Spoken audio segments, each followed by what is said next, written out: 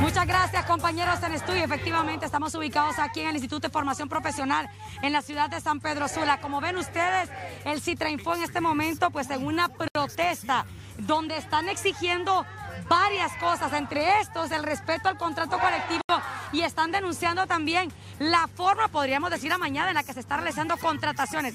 Vamos a platicar por acá con Nolvia para que nos brinde más detalles. Sí, muchas gracias por la entrevista. Pues sí, aquí estamos denunciando públicamente al abogado Freddy Cerrato, ya que está respetando el contrato colectivo, ¿verdad? Y también acerca las normas y procedimientos que tiene en la contratación de personal, porque hace poco nombró a una persona al departamento de caja sin hacer procedimiento de vida, un concurso interno.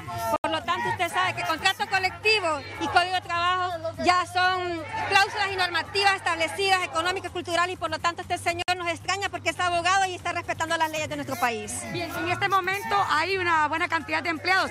¿Cómo se mantienen las aulas entonces? Ahorita las aulas están vacías porque estamos eh, suspendimos actividades, ya que este señor está renuente, desde ayer iniciamos y no se quiere sentar.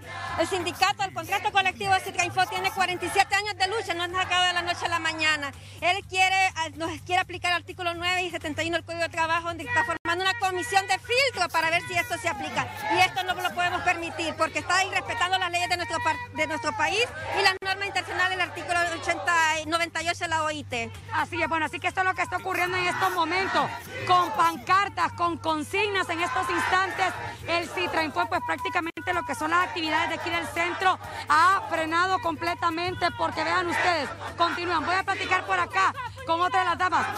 ¿Se mantienen ustedes firmes en esta protesta? Así es, hasta que este señor ceda con lo que nosotros queremos. Respete el contrato contigo, señor Freddy. Por favor, respeto.